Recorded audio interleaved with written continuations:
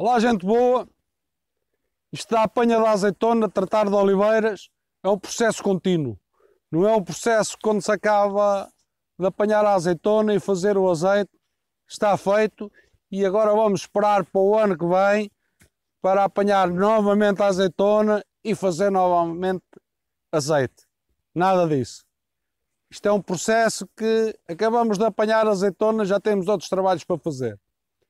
De uma questão que foi efetuada aqui no canal, o que é que se fazia ou restos dos ramos das oliveiras que se cortavam, essa dúvida apareceu e o que é que nós podemos fazer com os restos, com as sobras, com as madeiras?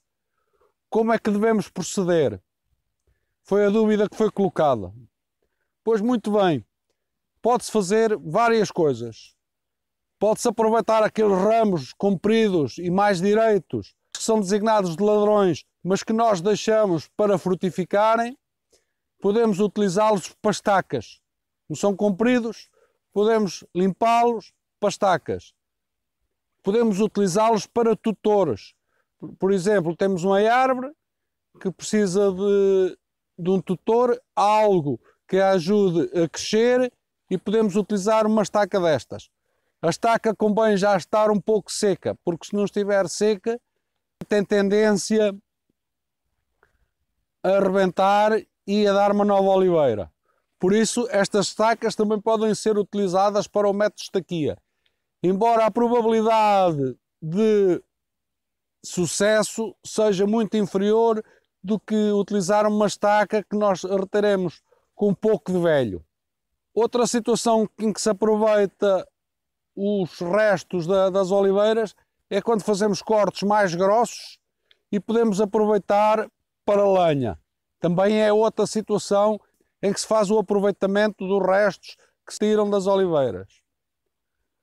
Mais, naqueles ramos mais finos, se tivermos plantações, por exemplo, ervilha trepadeira, que necessita de tutores, podemos utilizar estes ramos para serem tutores dessas plantas, para as plantas poderem crescer através desses ramos que nós vamos colocar.